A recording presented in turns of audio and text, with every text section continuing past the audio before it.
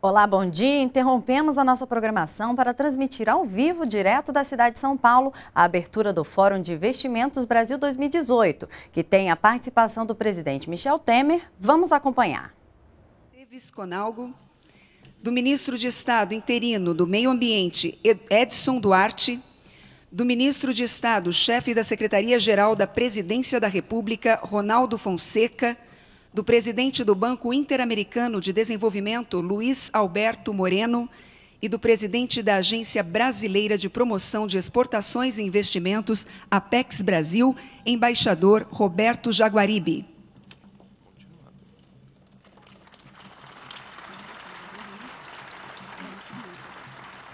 Depois das pode falar, dando início. Dando início a essa cerimônia, ouviremos as palavras de boas-vindas do presidente do Banco Interamericano de Desenvolvimento, Luiz Alberto Moreno.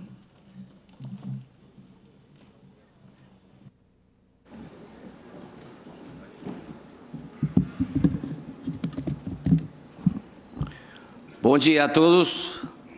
Eu quisiera complementar ao presidente Michel Temer, a todos os ministros, a representantes de la prensa, señoras y señores participantes, colegas do BIGI. Hasta ahí mi oportunidad. Hace apenas un año A oportunidade um ano nós tivemos a oportunidade de falar nessa primeira edição do Brasil Investment Forum. E naquele momento eu falava do meu otimismo sobre o futuro do Brasil. E eu acho que hoje voltamos a reafirmar justamente esta convicção já que, na minha opinião, o Brasil tem tudo para triunfar. E eu não estou falando simplesmente da Copa. Alguns dirão que esta é uma perspectiva ingênua, considerando os eventos dos dias recentes. Bom, a greve dos caminhoneiros, sem dúvida, mostrou grandes desafios no Brasil em, no curto prazo. Esta semana também lembramos da importância fundamental do diálogo. É muito fácil criticar o processo conflitivo e às vezes até caótico que conduz à construção de consensos. Mas vale lembrar que a essência é sempre a democracia. Outros observadores da nossa região concentram-se em indicadores macroeconômicos e falam do potencial de uma crise detonada por um colapso financeiro em algum mercado emergente. Não faltam aqueles que encontram paralelos com crises passadas, como nomes de bebidas como tequila ou a vodka. Mas é preciso se lembrar que, quando aconteceram estas crises, a América Latina era muito diferente. Por exemplo, quando explodiu a crise do peso mexicano em 1994, a maioria dos nossos países estava apenas começando a primeira rodada de reformas econômicas de mercado. Nossas economias eram mais fechadas e a competição e o investimento estrangeiro. Nossos sistemas financeiros eram menos robustos e nossa disciplina fiscal não merecia o nome de disciplina. As nossas redes de proteção social quase não existiam. Diante dessas condições, estava claro que um sudden stop, uma parada repentina na entrada de capitais, podia nos levar a uma situação negativa. O risco de uma mudança abrupta de expectativas dos investidores continua existindo, não apenas para nós, mas para todos os mercados financeiros. A diferença, entretanto, é que hoje ela nos encontraria em outras condições: economias mais abertas, bancos mais capitalizados, regras fiscais mais prudentes e mecanismos para amortecer o impacto social de uma crise econômica. Porque durante 25 anos, a maioria dos países latino-americanos não ficou de braços cruzados. Nós avançamos em muitas reformas de fundo. E isso é o que o Brasil tem feito. E, sem dúvida, é o que aconteceu neste país nos últimos dois anos. A aceleração de todo este conjunto de reformas. Nos últimos dois anos, o Brasil conseguiu reformar as suas leis trabalhistas para torná-las mais flexíveis. Adotou um limite constitucional para aumentos orçamentários e também aproximou as taxas de interesse do BNDES às taxas do mercado, que é um sinal importantíssimo tanto para o sistema financeiro como também para a equidade.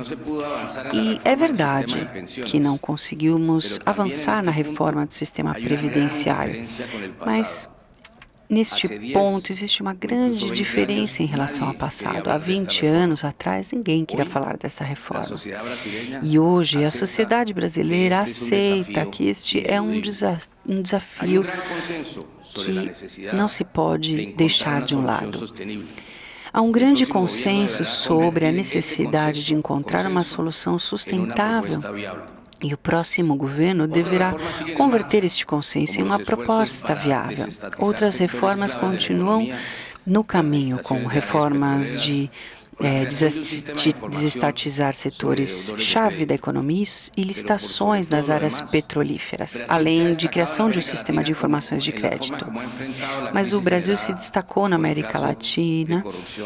É, por ter enfrentado a crise de casos de corrupção chamada Lava Jato. Não há dúvida de que essa crise cobrou seu preço econômico, mas ao mesmo tempo revelou a força das instituições democráticas brasileiras. A independência do poder judiciário é um dos indicadores mais fiéis de um Estado de direito. O Brasil passou nessa prova e é um exemplo para os demais países da América Latina. Por isso é tão importante que o Brasil tenha sucesso porque para muitos latino-americanos, o Brasil é o farol que guia outras democracias da região. E este impulso de reforma não pode se perder com a desculpa de que estamos num ano eleitoral. Aqui, o setor privado pode e deve desempenhar um papel de protagonista.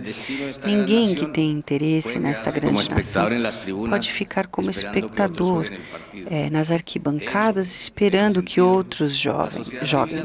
De fato, neste sentido, a a sociedade civil tomou dianteira porque interpretou que os brasileiros estão ávidos por participar. e suas organizações estão visivelmente ativas em todos os debates que configurarão o futuro do Brasil. O setor privado não pode estar ausente destes debates. Talvez seja necessário atualizar os mecanismos de influência do passado, mas aqueles que são responsáveis de gerar riqueza em empregos não, empregos não podem ficar à margem dessas discussões. No meu trabalho, eu tenho que viajar a muitos países que têm sucesso e outros que fracassam. E depois de mais de 10 anos de experiência, eu tenho certeza de que as sociedades que seguem são aquelas que privilegiam o diálogo para chegar a grandes consensos. Busquem o diálogo, façam propostas, cheguem a acordos. Vocês encontrarão um terreno fértil porque todos os nossos países estão ansiosos por este tipo de lideranças. Eu sei, porque há pouco tempo estivemos eh, na Cúpula das Américas em, em Lima, um grupo de líderes é, de empresas assumiu um compromisso público com a transparência. Sua declaração foi muito simples: prometeram não fazer contribuições ilegais a campanhas políticas, não fazer favores a políticos e reguladores e não pagar subornos para ganhar licitações. Essas promessas podem até parecer óbvias, mas na medida em que sejam cumpridas, estimularão as empresas a trabalhar com transparência e mudarão esta cultura. E com isso será mais fácil atrair mais investidores de longo prazo, aqueles que podem ajudar a aumentar a produtividade e a qualidade de vida dos brasileiros. Investidores interessados em aproveitar as muitas oportunidades oferecidas pelo Brasil em melhoras das condições de parcerias público-privadas. O BID tem orgulho de ter acompanhado o governo federal nesses esforços por tirar obstáculos legais regulatórios e técnicos para a inversão em obras públicas. Esperamos poder fazer o mesmo nos níveis estadual e municipal. Eu não tenho dúvidas de que o Brasil sairá fortalecido desta prova e de que os brasileiros recuperarão a confiança no incrível potencial de seu país. Eu disse há um ano e volto a afirmar: para nós estrangeiros, quando olhamos o Brasil, vemos um país com a oitava economia do mundo que voltou a crescer, um país com uma inflação de apenas um dígito, algo que era impossível, um país abençoado com todos os tipos de recursos naturais. Um país com uma enorme base industrial e a maior classe média da região. Em suma, um Brasil que tem tudo para triunfar. Mas o Brasil tem outras qualidades que ainda não foram suficientemente reconhecidas. E hoje eu quero aplaudir e agradecer a PEX por convidar os jovens empreendedores e empreendedoras que criaram neste país o maior ecossistema de inovação e startups da América Latina, talvez um dos maiores do mundo. Um ecossistema que continua crescendo, superando todo tipo de crise, nutrindo-se do apoio de líderes visionários do setor privado nacional e de suas excelentes universidades e centros de pesquisa de vanguarda. É por tudo isso que estou totalmente seguro de que o Brasil triunfará e continuará sendo um exemplo e uma inspiração para seus vizinhos. E agradecer uma vez mais o presidente Temer e todo o seu governo pelo seu convite de estar aqui hoje e dar é, a um aplauso por este, este desenvolvimento dos últimos dois anos. Muito obrigado.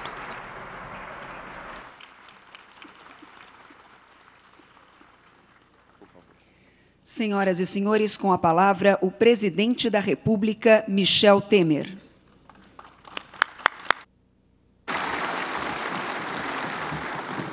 Eu quero cumprimentar inicialmente o Luiz Alberto Moreno presidente do Banco Interamericano de Desenvolvimento, que é co-organizador do Fórum de Investimentos Brasil 2018. Os eminentes ministros Aloysio Nunes, Walter Casimiro, Blairo Maggi, Iana Dumareschi, Esteves Condago, Edson Duarte, Ronaldo Fonseca, o Carlos Brandão, vice-governador do Maranhão, embaixador Roberto Jaguaribe, uh, presidente da PECs, os chefes de missão diplomática acreditados junto ao meu governo, as senhoras e senhores empresários e investidores. E, em primeiro lugar, eu quero muitíssimo agradecer o belíssimo discurso do Luiz Alberto Moreno, que é, revelou não só as potencialidades do nosso país, como também como os países que estão fora do Brasil veem o Brasil. Aliás, Moreno, há poucos dias eu estive na Cúpula das Américas e pude lá ter contato com muitos chefes de Estado estrangeiros e pude perceber o extraordinário otimismo com que eles enxergam o nosso país. Aliás, dizia eu que é um exemplo até para nós outros aqui, para que tenhamos otimismo no nosso país. Por isso que eu quero também dar as boas-vindas aos investidores de tantos países que vieram a São Paulo para conhecer de perto né, nossa agenda de reformas e as novas oportunidades de negócios que se abrem no nosso país. Aliás, lembrava o Moreno, há um ano eu estive neste mesmo fórum para falar do novo rumo que havíamos dado ao país. Naquele momento, registrávamos pela primeira vez em oito trimestres, taxa positiva de crescimento. Passado um ano, consolidamos essa estratégia. Nós estamos, na verdade, com as dificuldades naturais, em um processo de crescimento sustentado e de retomada dos empregos. Atingimos este que era o nosso objetivo número um: recolocar o Brasil nos trilhos. Naturalmente, não quero cansá-los com números sobre a queda da inflação, dos juros, já mencionados pelo presidente Moreno, sobre os recordes na produção agrícola, da aeromagem e no comércio exterior. Os senhores e as senhoras conhecem esses números, mas quero sublinhar uma ideia-chave do nosso governo, que interessa a todos. O setor privado desempenha papel central no desenvolvimento. As empresas, pequenas, grandes, são os melhores geradores de riqueza e de oportunidades. Nesses dois anos, nós cuidamos precisamente de desatar as amarras da nossa economia. Estamos, na verdade, construindo um Estado eficiente, que cria condições para que os empreendedores empreendam e produzam prosperidade.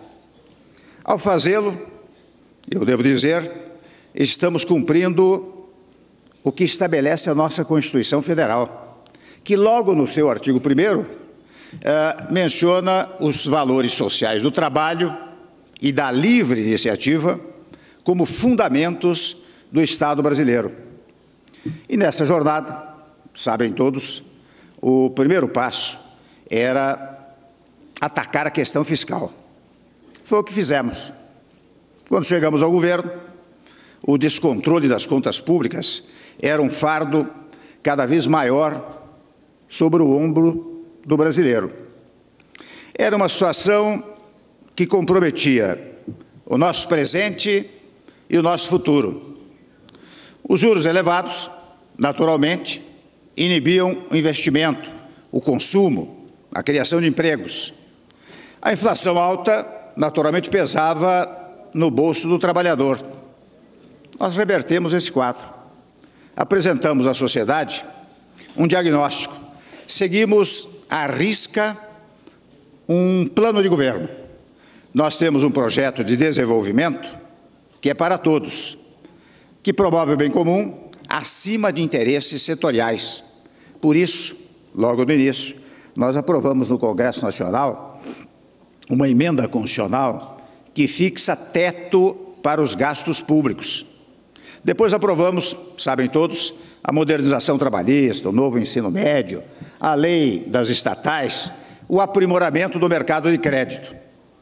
Enfrentamos, na verdade, uma oposição aguerrida, mas respondemos com a força do argumento, com o poder do diálogo. Diálogo, a palavra várias vezes mencionada pelo Moreno, que é a marca do nosso governo. Aliás, alguns confundem, eu quero dizer isto em letras garrafais, a vocação para o diálogo com eventual leniência política ou fraqueza política. Na verdade, é justamente o oposto.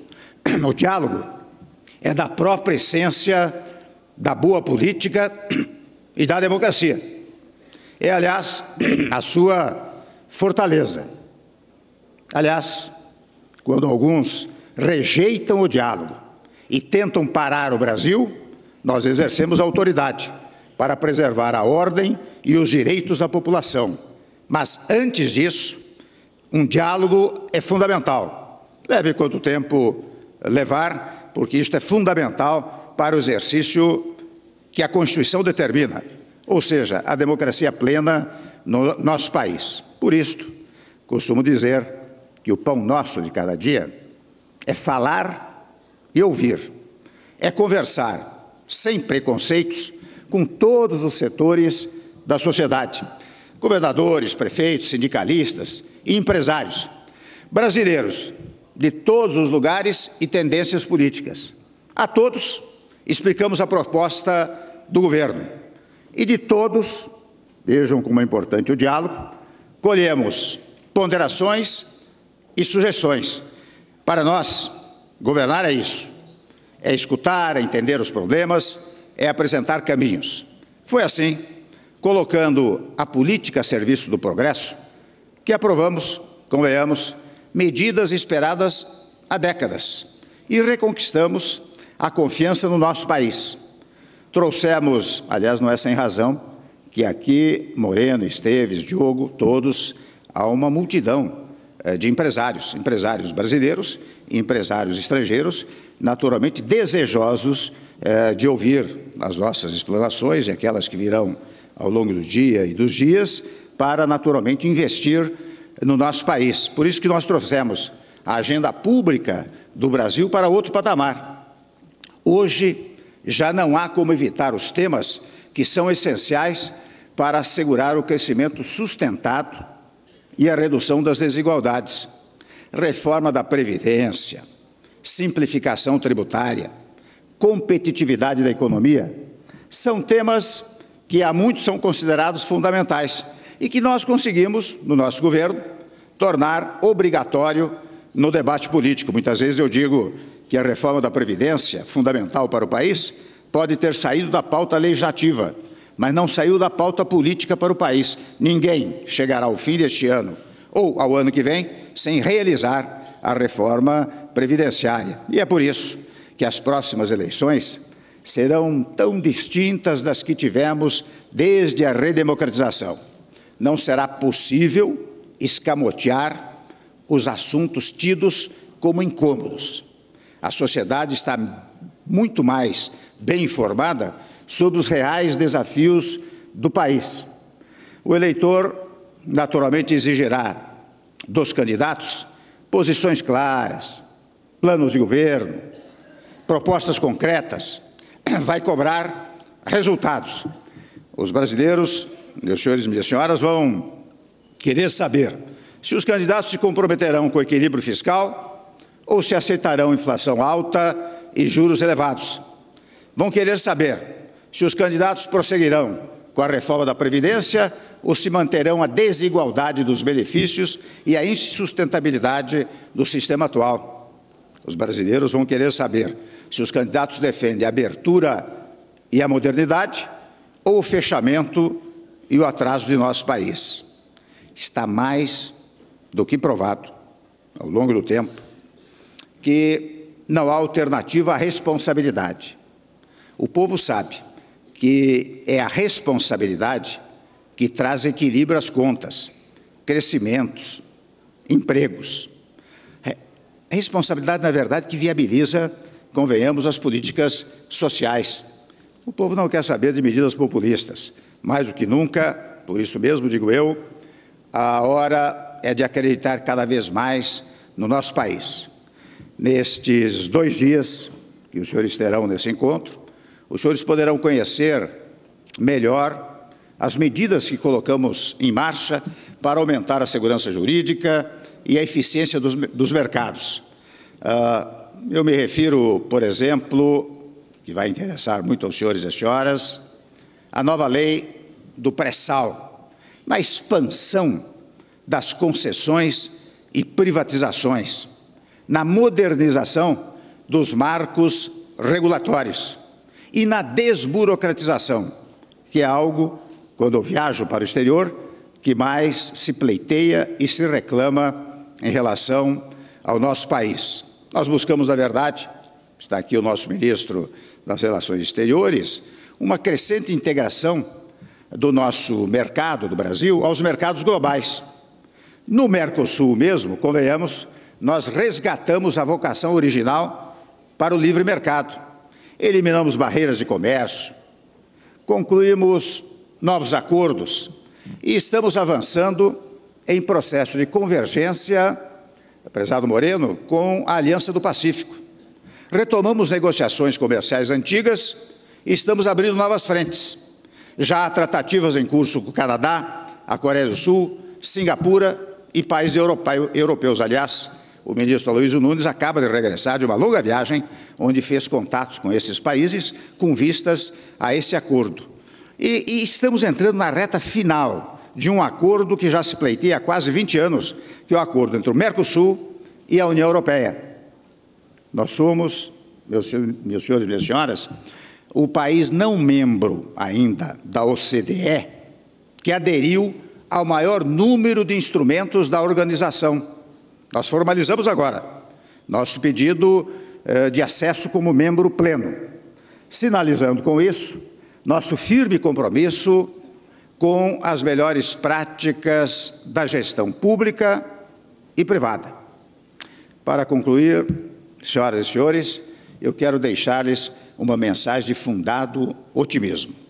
Nós vamos fechar o ano com mais crescimento econômico.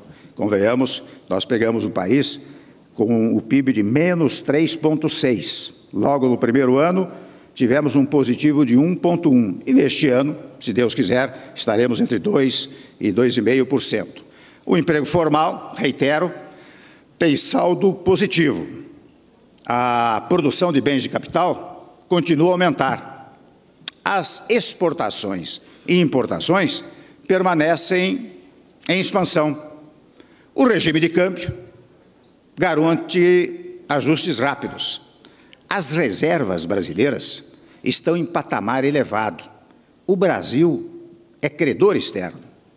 Eu não quero ir muito além, mas quero convidá-los a olhar o Brasil de uma perspectiva mais ampla.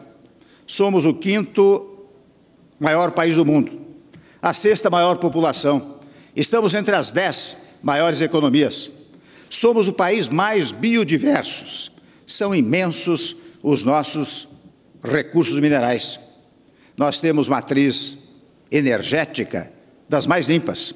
Concentramos, aliás, ontem eu falava em 10% de água doce, mas o Jaguaribe me, me fez dizer que não são 10, mas 14% de água doce de todo o país, do planeta, do planeta, na verdade. Nosso parque industrial é extremamente diversificado. Nossa agroindústria, Blairo, é de vanguarda. Nós somos povo trabalhador e temos uma grande democracia multiétnica. Este é o país em que os convido a investir sempre mais. Estejam certos, investir no Brasil é ganhar. Muito obrigado.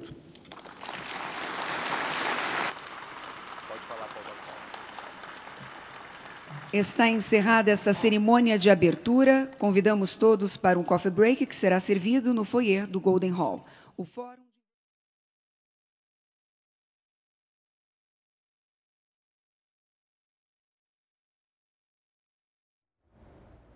Você acompanhou ao vivo, direto da cidade de São Paulo, a abertura do Fórum de Investimentos Brasil 2018, que tem a participação do presidente Michel Temer.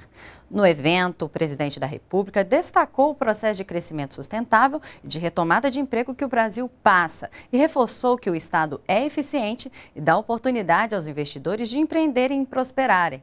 Temer também ressaltou a importância do diálogo e de apresentar caminhos e soluções para fortificar a confiança no nosso país. Segundo o presidente, abre aspas, é a responsabilidade que traz equilíbrio às contas. Fecha aspas.